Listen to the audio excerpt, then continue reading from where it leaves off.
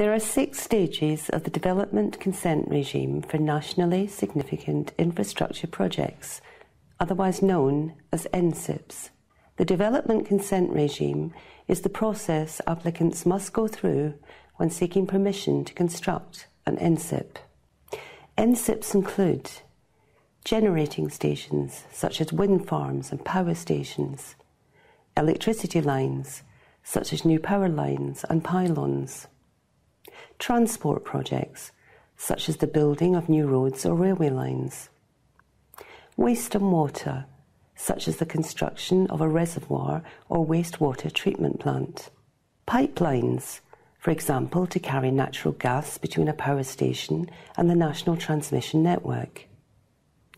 The primary legislation that underpins the development consent regime is the Planning Act 2008. There are six stages to the Planning Act 2008 process.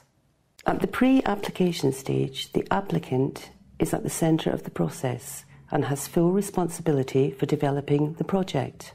An applicant is likely to be a large developer, a government agency, or possibly a local council. The development consent regime is a front loaded process. This means the development proposal has to be fully scoped and refined before the submission of an application to the Planning Inspectorate.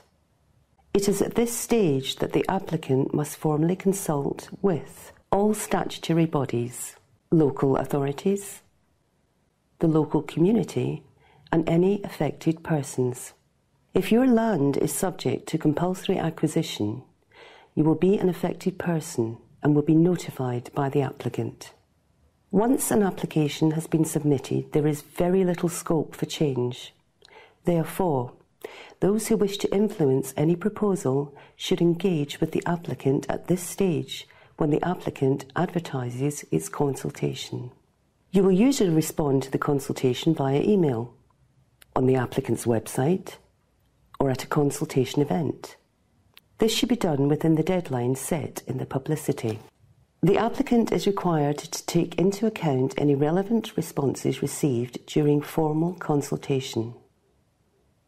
The pre application stage can take as much time as is needed and is driven by the applicant. After the pre-application stage comes the acceptance stage. It is at this point that the Planning Inspectorate moves to the heart of the process. The application is formally submitted by the applicant to the Planning Inspectorate. We must decide within 28 days whether all relevant documentation has been submitted to enable the application to proceed. If we refuse the application, there is a six week window for the applicant to raise a legal challenge. If we accept the application, all documents are published on our website and the process moves to the next stage.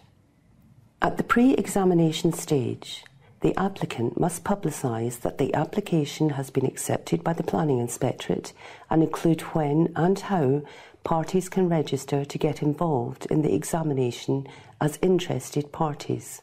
The time period for registering is set by the applicant, but must be no less than 28 days. From within the Planning Inspectorate, an inspector or panel of inspectors will be appointed as the examining authority. A preliminary meeting will then be held to discuss procedural issues and the timetable for examination. All interested parties will be notified of the date of the preliminary meeting. After the close of the preliminary meeting, all parties will be notified of the examination timetable. The close of the preliminary meeting marks the end of the pre examination stage. The examination stage starts the day after the close of the preliminary meeting. It is at this stage that the examining authority examines the application and the examination must be completed within six months.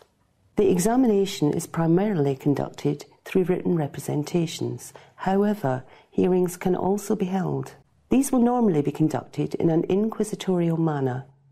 Each interested party is entitled to make oral representations about the application. During this stage, the examining authority has three months to write its recommendation and submit it to the relevant Secretary of State. The relevant Secretary of State makes the final decision for all NSIPs. The Secretary of State has three months to make his decision whether or not to grant consent. The final stage of the process is the post decision stage.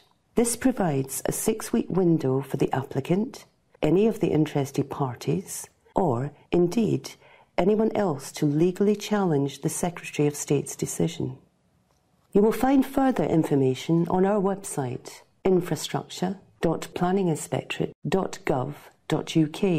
which includes many helpful advice notes.